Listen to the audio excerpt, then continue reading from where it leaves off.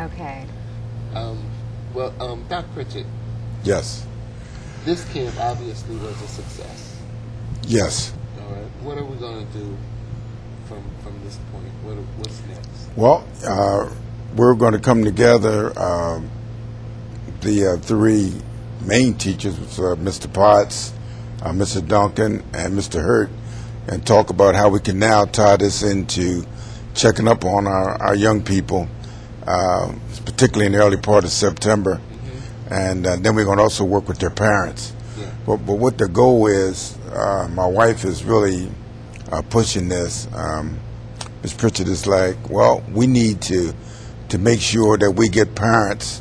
At least we want to at least have 99 percent. If we don't get 100 percent, that the parents would at least make an effort during the month of September to meet their child's teacher, uh, to get the name of the teacher, and to leave their phone number or or an email.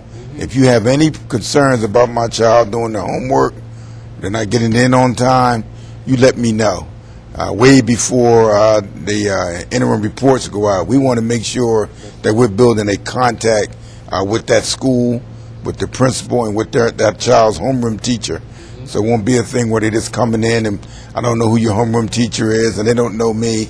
We're going to let them know we're interested as a parent, we're interested in making sure that my child succeeds in your classroom. Right. And if you have any problems, you can call Mr. Ryan Potts, you can call Mr. Duncan, you can call Mr. Hurt, or you can call Mr. Pritchett, or you can call Miss Pritchett.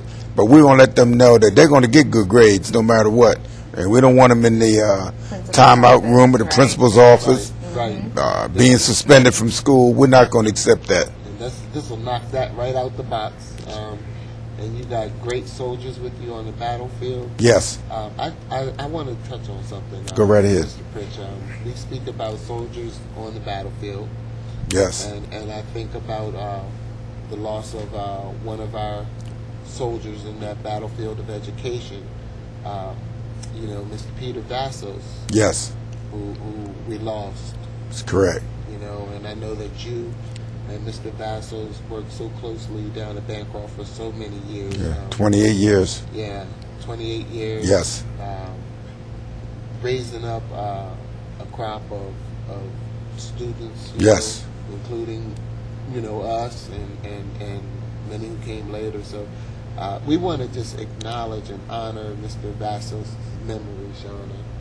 Um, beautiful man, uh, football player, bas- was a basketball player Yes. as well. Yes. Yes. Um, his family may be watching tonight. We hope they are. If they are, we send our condolences, our respects to you, and we love you. Um, and, and I just wanted to say that. I to, I appreciate know, that. Anything. Very kind of you to say that. Yeah.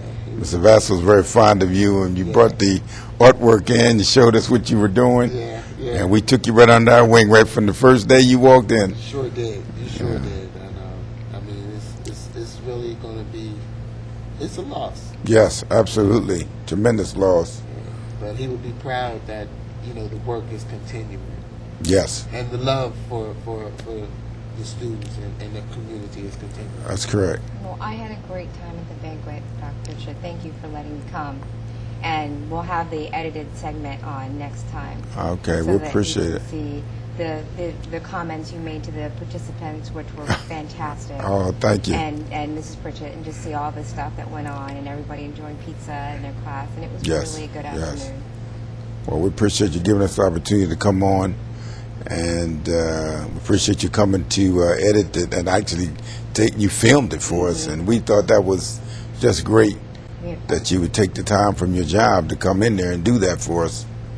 She's awesome, though. Yes, she is. I tell you, I wish I could have been there too. Um, I I, can't wait really- to see it. I have a really good boss. My boss is really, really nice. And I'm Uh-huh. like, look, I'm going to need like two hours this afternoon. I'll be back. He's like, all right, have fun. That's awesome. So, yeah, I had a great time. Look, thank, Thank you to you, your guys. boss. He's not watching. But in case it's on YouTube, thank you, Carlo.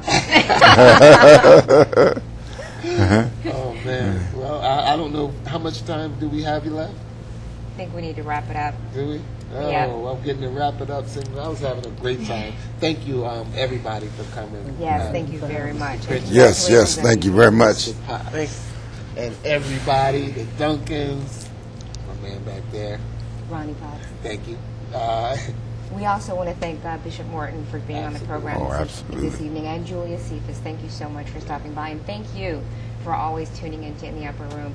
And to the gentleman I saw yesterday when I was leaving um, KFC, thanks for watching.